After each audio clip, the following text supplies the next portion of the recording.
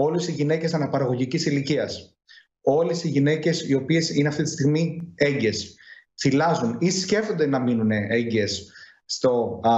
άμεσο μέλλον, θα πρέπει οπωσδήποτε να εμβολιάζονται